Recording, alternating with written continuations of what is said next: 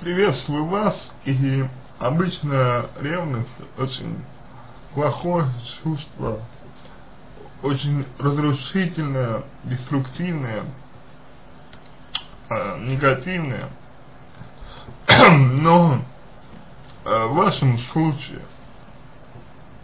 оно более естественно, э, почему? Потому что вы всегда знали, вы, вероятно, даже этого не осознавали, но э, чувства ваши к мужчине, они э, по-прежнему есть. Они никуда не делись, они по-прежнему имеются. И ревнуете вы потому, что, ну, по сути, э, продолжаете любить своего мужчину. На это указывает все, начиная, начиная с того, что вы хотели своего другого уже молодого человека переделать под, ну или переделать по образу и подобию, правильно сказать, а, значит, своего предыдущего молодого человека и оканчивая тем, что вы сейчас чувствуете. У вас э, и, э, получается такая немного противоестественная реакция, противоестественный конфликт. Когда вы человека любите, в принципе хотите с ним быть, но при этом э, вы отвергали его желание начать с вами отношения, его предложение об этом, и а в итоге получается, что сами его теперь потеряли.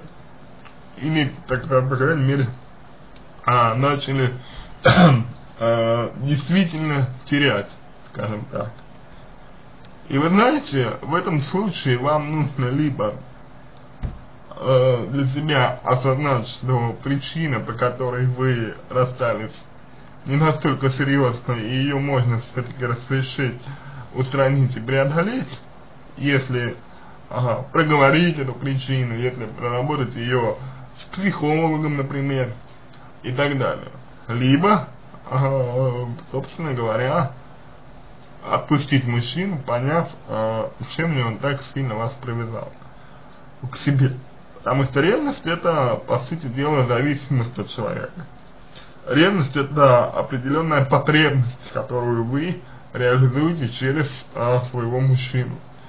И поскольку раньше вы все-таки эту потребность хоть как-то удовлетворяли, а, то сейчас, а, к сожалению, ни о каком удовлетворении этой потребности речи вообще не идет.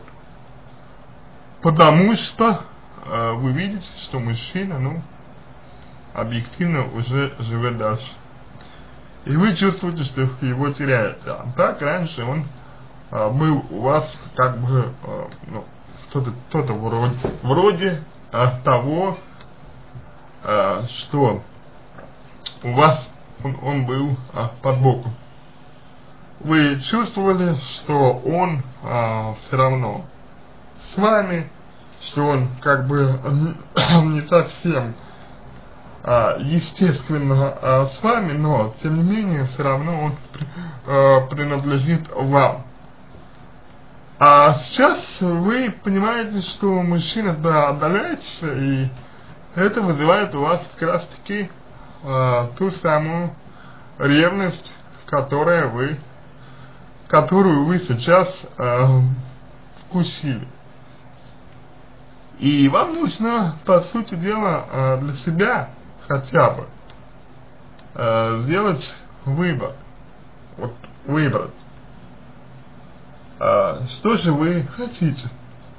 То есть ли, либо вы э, мужчину э, отпускаете окончательно э, и позволяете ему жить своей жизнью, но при этом э, та потребность, которая у вас к нему есть,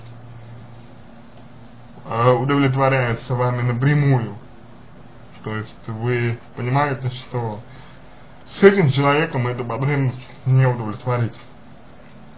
нужно удовлетворять ее самостоятельно, дабы не быть зависимым от э, него. Либо вы обсуждаете с ним проблему. То есть конкретно э, сейчас вы с ним и говорите, что я понимаю, я хочу быть с тобой, а, давай обговорим проблему, а, значит, по которой мы расстались. Или для начала делаете это а, со специалистом, а, а потом уже а, потом уже высказываете свое отношение а, парню. То есть просто вот по а, переписке вы начинаете сами уже с ним общаться, сами уже выстраивать с ним, с ним отношения, а, постепенно занимая все больше и больше места в его жизни.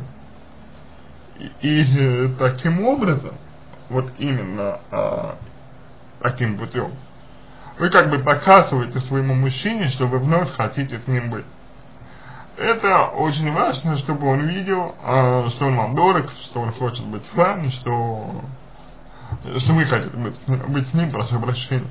Э, и что вы как бы осознали, что вот э, причина, по которой э, вы расстались, она не так важна, и для вас она теперь обрела другое значение, вы уже не так сильно на нее обращаете свое внимание. То есть тут уже вам выбирать, либо вы начинаете просто с молодым человеком активно общаться, чтобы показать ему, что вы хотите сближения с ним, и воспользовавшись случаем, вспомнить об этой проблеме и показать ему, что вас она больше не волнует либо вызвать его на разговор самостоятельно по поводу этой проблемы. Но тогда придется действовать максимально искренне, максимально открыто, это достаточно рискованно.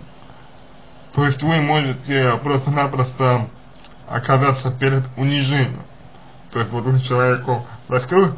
раскроете все свои чувства, да, скажете ему, что я осознал, я без тебя не могу, я там, а я там все поняла, а он вам скажет, ну и что, а у меня уже другая девочка, и я ее не брошу. То есть получится так, что вас растопчут. Это сильно большой риск, и чтобы такого не было, чтобы не было этой психотравмы, э, вам все-таки э, я рекомендую вот э, именно постепенно налаживать с ним общение. Предварительно проблему из-за которой вы расстались, обсудив со специалистом. На этом все. Надеюсь, что помог вам. Если какие-то вопросы остались, обращайтесь в личку, помогу. Если вам понравился мой ответ, буду благодарен, если сделаете его лучшим. Желаю, желаю вам всего доброго и удачи.